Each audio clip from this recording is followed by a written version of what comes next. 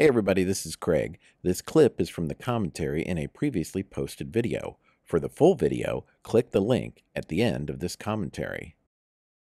We just watched a set of promos from Toon Disney that aired in 2005 during an episode of TaleSpin. Included were promos for weekday bonus stacks, January movies, Next on Toon Disney, The Proud Family, Sabrina's Secret Life, and a PSA for Disney Hand Learning Together. Also included were portions of the show TaleSpin, along with its bumpers to give you a sense of what it was like to watch the channel back in 2005. This video does a good job showing how Disney organized its run of promos, IDs, and bumpers on Toon Disney for that year. In addition to promos, the channel also ran commercials, but this video is from a late night broadcast, and the commercials were for things like shoe stretchers and other as seen on TV type products, and so they were left out of this video. With these promos, we can see that Toon Disney was running daily marathon blocks they called bonus stacks during January. These same marathon blocks can be seen going as far back as November of the previous year.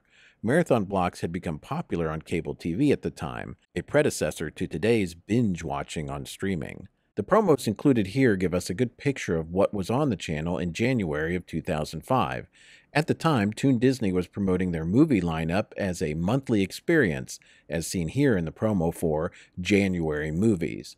In this promo, almost all the animated movies promoted were from Disney, with some feature films like The Great Mouse Detective, The Aristocats, The Hunchback of Notre Dame, and Dumbo, and some direct to video titles like 101 Dalmatians 2, Pocahontas 2, and The Lion King 1.5. The only non Disney movie in the promo was for The Secret of NIMH. There were also promos for animated series that had run on other channels, like The Proud Family, which came from the Disney Channel, and Sabrina's Secret Life, which came from DIC Entertainment and had originally aired in syndication on the DIC Kids Network. We also got to see a custom PSA for Disney Hand Learning Together featuring characters from the Proud Family. The PSA was promoting reading aloud. It looks like most of the PSA was pieced together through edited clips from the show, but the narration by Penny Proud, voiced by Kyla Pratt, was recorded specially for the PSA.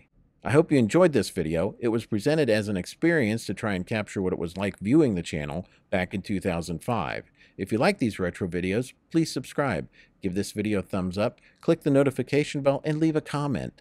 All these things really help the channel. Keep watching for more retro videos like this and other retro themed videos like Retro Talk. Take care of yourself and look out for others. Talk to you later. Bye.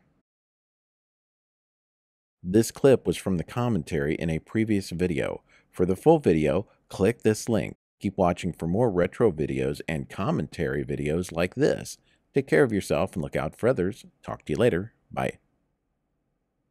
This video brought to you by StockAgogo.com, Stock Photos.